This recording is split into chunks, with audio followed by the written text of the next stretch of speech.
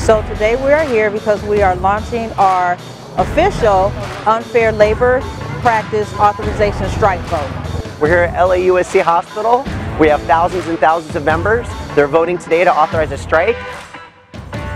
They want to call us heroes.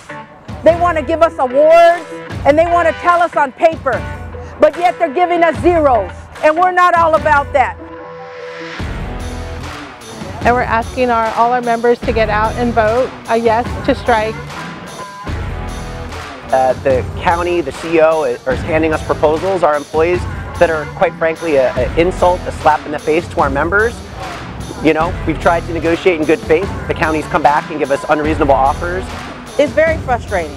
We just have been basically disrespected because they have failed to come to bargain with us in good faith.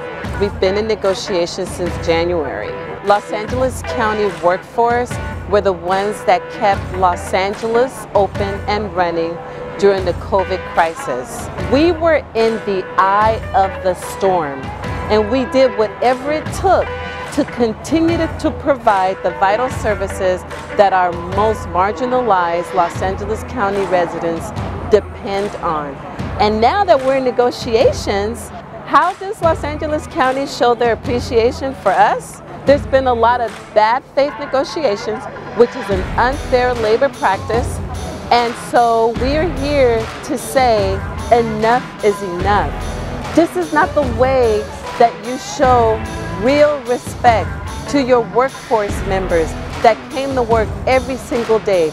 That's not right. So we're escalating today, we're taking it to the next step. We're angry, we're pissed off, we're upset, uh, we're reaching the breaking point. Our workers are frontline workers. We didn't watch the pandemic from the couch.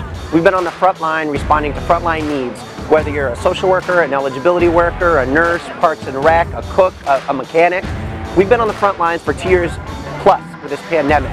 And we're saying, support us, protect us, and pay us. And, and they haven't done that. Members are, are furious. They're pissed off, and they're ready to take action.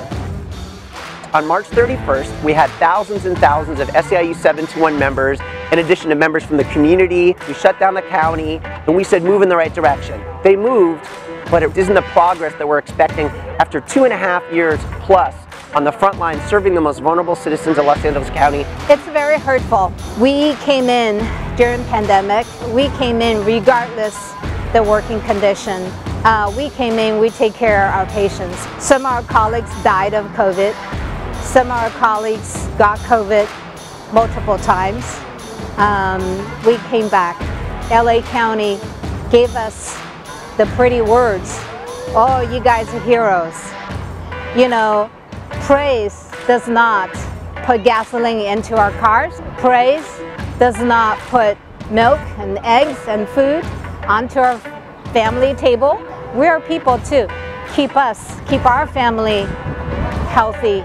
They're telling us no, no, and no. Unable to come to a decision to give us anything. So we are now letting them know that that is not bargaining and fair. We hope they come back to the table, but we're ready to do whatever it takes for our members, for our communities, for the people we serve to do the right thing. So we are here today to come together to say yes for a strike.